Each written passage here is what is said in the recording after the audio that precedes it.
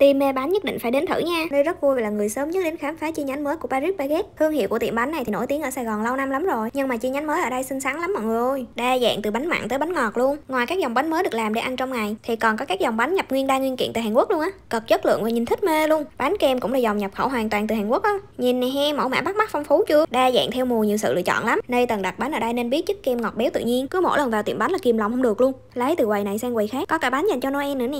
Kem que xịn sò đang mua hai tặng một cho nên cũng hốt luôn. Chưa dừng ở đó đâu nhà ra tiếp cái quầy bánh mặn này gấp ly gấp. Trời ơi tới lúc thanh toán anh nhân viên giật mình vì hai cái mâm bánh chà bá luôn. Các loại bánh này là best seller luôn á. Chất lượng thì khỏi bàn cãi. Ăn hết bánh của tiệm luôn được không? Hi hi. Bánh tặng được nhập khẩu hoàn toàn từ Hàn Quốc. Phô mai béo thơm tan chảy ngay trong miệng. Tranh thủ ghé sớm trong những ngày này để nhận được khuyến mãi nha mọi người. Toàn bánh ngon bánh xịn mà mua ghé hời quá trời. Mua về để ăn dần cũng được siêu thích luôn. Kem cũng đỉnh của shop và một chiếc view bắt trên cực kỳ xịn.